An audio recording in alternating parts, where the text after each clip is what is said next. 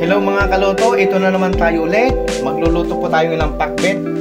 Tagalog version. Ito pa ating hiwalo. Gagamitin.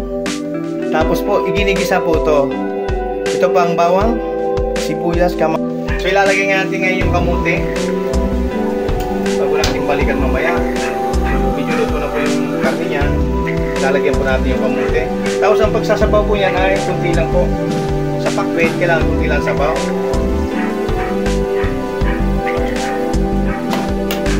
So dagdagan natin ng konti para tatapos na luto yan.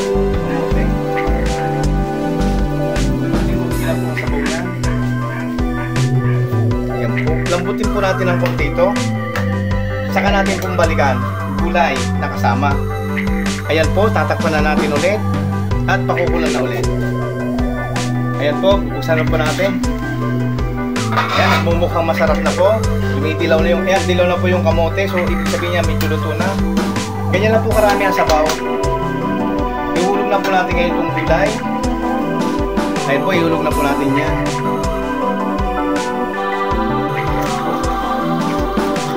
So, nahugasan na po to. Hulog na lang.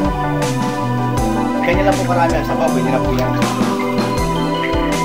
Hulog na po kamote ang iligay. Ito naman natin susunod. So pagkalagay po natin yan, tikman po natin ulit. Baka po matabang ang ating luto. Kasi kung minsan, tumatabang po yan, gawa ng tubig po ng gulay na nakakapit pa dyan. Kaya na po. Titikman po natin.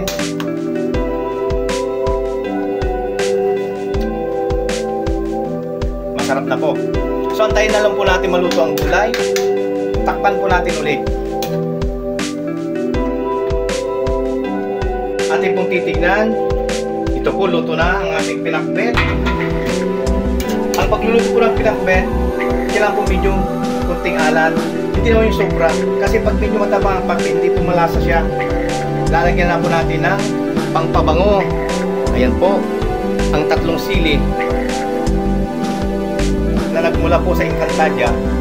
Ayan po. Diyan, luto na po ang ating ulam na pakbet. So ganyan lang po karami ang sabaw na ating pinakbet para po hindi siya mat at saka ano po bago nyo po tikman yan lalagyan nyo po matabang lalagyan mo ng patis. Mas maganda kasi talaga yung medyo maalat ng konti. Hindi naman yung sobra sobra kasi ang pagluluto ng pakbet may dating talaga pag medyo maalat lang. Ayan po tapos na po ang ating pagluluto. Tayo po ay kakain na. Bye bye